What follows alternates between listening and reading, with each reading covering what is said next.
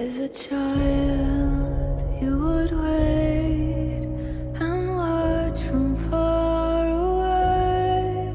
But you always knew that you'd be the one that would while they all play. And you,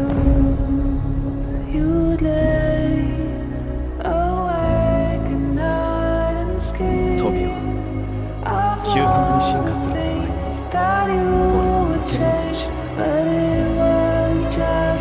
ない